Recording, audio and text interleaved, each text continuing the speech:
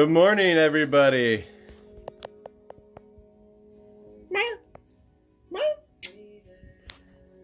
Fitness reset, back in the gym.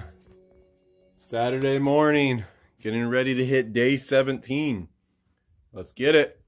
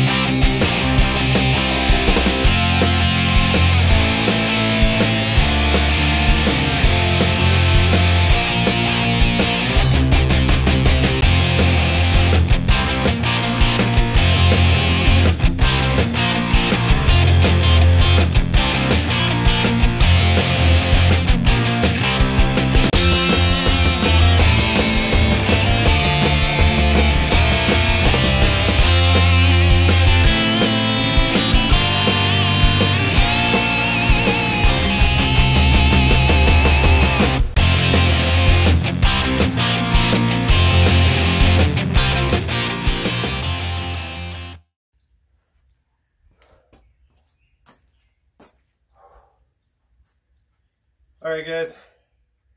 Day 17 done. Feel a little more wiped than normal today, but it's a Saturday. So what I plan on doing is just keep going, keep hitting some extra credit, probably do some bench, some abs. Probably gonna work on a decline bench today. Got a little setup ready for that.